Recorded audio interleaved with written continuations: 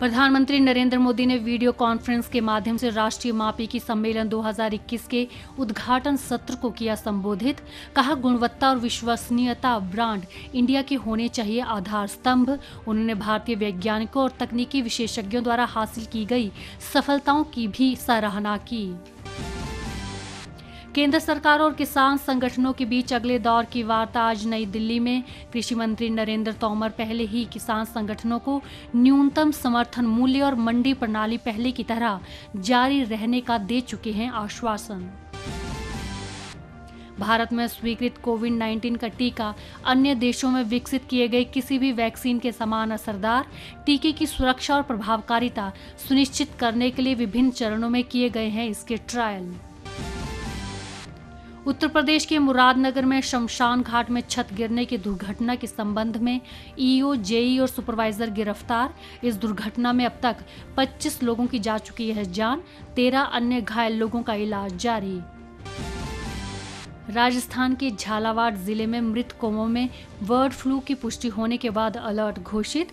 पशुपालन विभाग ने राज्य स्तर पर नियंत्रण कक्ष किया स्थापित और प्रभावी निगरानी के लिए ज़िले में भेजे दल।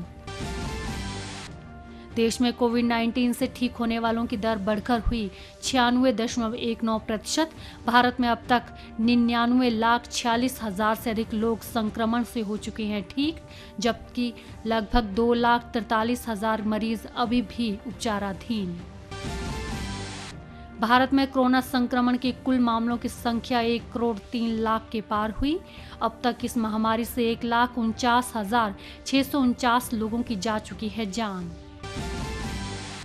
बिहार में आज से सभी शैक्षणिक संस्थान फिर से खुले।